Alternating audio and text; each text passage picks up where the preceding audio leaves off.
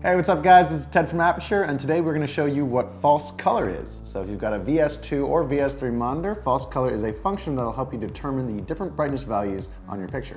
To turn on false color, all you gotta do is hit the menu button right here, go to Assistant Functions, go right down to false color, and hit right, and voila. So the first thing that you're gonna notice is that your picture is gonna change colors. And on the bottom here, you're gonna have a chart representing all the colors between zero and 100 IRE. Now, IRE is a way to measure brightness values. Uh, it stands for Institute of Radio Engineers, which are the people that came up with it a long time ago. If we take a look at this false color chart a little closer, we'll see here that the pink, dark pink, stands for zero IRE. So this is where we're actually picking up total, total blacks. Now the second step there is gonna be your dark blue. Now that is zero to 10% IRE. Now that's generally gonna be your very, very underexposed light values. So in general, you want to avoid seeing pink and dark blue because that generally means that your image is underexposed. Now on the high end of that, you're gonna have your orange and red. Red stands for you're completely overexposed blown out. So that's total white. That's 100 IRE. You can also see here, if I raise the ISO, now we're overexposed. We see all this red here. I can come out of false color, bang, all white, all overexposed. Here's all the red parts that we're seeing.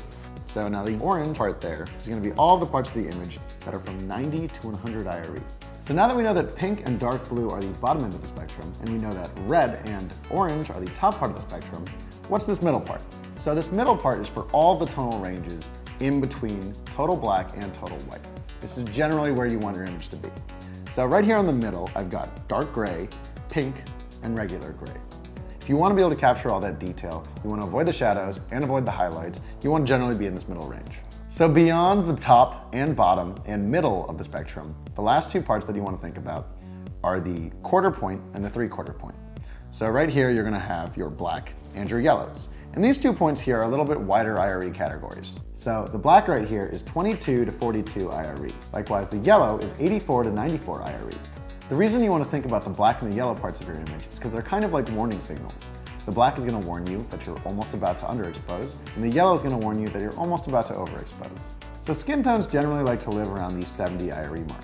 So on this chart, that would be the light gray. So if you set up your picture, turn on false color, and their face turns up light gray, that means you've exposed them perfectly. So how does false color compare to other exposure tools like histogram? The reason false color is so important is because false color will be able to give you exposure levels on an area basis. With histogram, I'd only be able to see a general overall exposure reading on my picture. So I'm Ted here from the A-Team. Make sure to like our Facebook, subscribe to our YouTube, and if you have any questions or tutorials that you want, just make sure to leave them in the comments below. Catch you next time.